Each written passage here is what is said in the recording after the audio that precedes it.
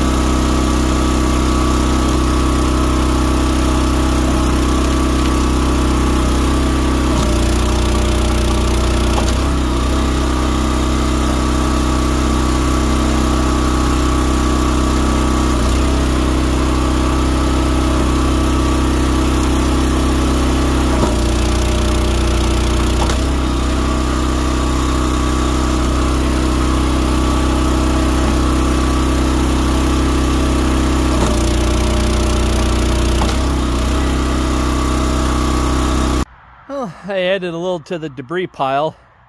I'll know more in the daylight if I got any pieces in there. Looks like I did a little more than a face cord, but one row stacked and the rest loose, tossed, and level is a face cord in this truck. Got a few little gaps, so yeah, heaped up. It's gonna be gonna be it for a face cord. So yeah, it's uh hard hard for you to see me now that it's quite a bit more dark. So that's it for a nighttime split. It's not even 8 o'clock, so yeah, uh, it'd be a lot easier if I had a conveyor. I could just split and just run and not have to chuck. So uh, that's on the agenda, as, long, as well as a box, box wedge splitter. Or I could go vertical splitter with attached conveyor. But I'm thinking more the lines of a box wedge or a 35 ton to push my 12 way better.